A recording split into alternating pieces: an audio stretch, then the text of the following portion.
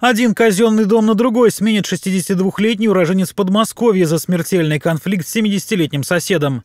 Оба мужчины долгое время проживали в доме-интернате для престарелых и инвалидов в поселке Потьма.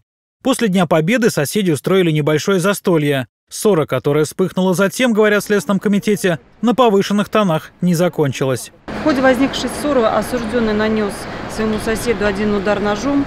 От полученного телесного повреждения пострадавший скончался. На шум в коридоре дома престарелых сбежались не только соседи, но и персонал. В соцучреждение вызвали следственно-оперативную группу. Отрицать свою вину постоялец из Московской области не стал. Решение суда он дожидался в СИЗО. Гражданин К. признан судом виновным в совершении инкриминированного преступления. Ему назначено наказание в виде 9 лет лишения свободы в исправительной колонии особого режима.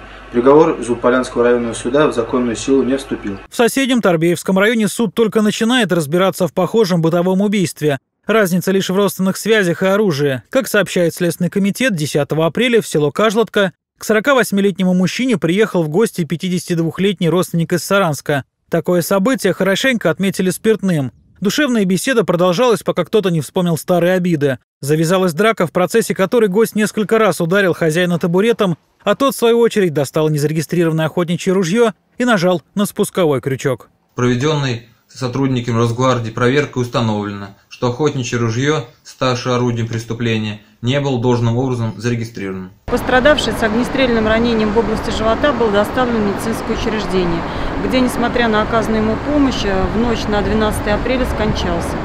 Причастность обвиняемого к данному преступлению подтверждается показаниями свидетелей, заключениями судебных экспертиз, а также другими материалами уголовного дела. За расправу над родственником жителю Кажлотки грозит до 15 лет тюрьмы, но, как показывает судебная практика, наказание не превысит двух трети от максимального. Александр Аносов, Игорь Гангаев. Программа «Происшествия».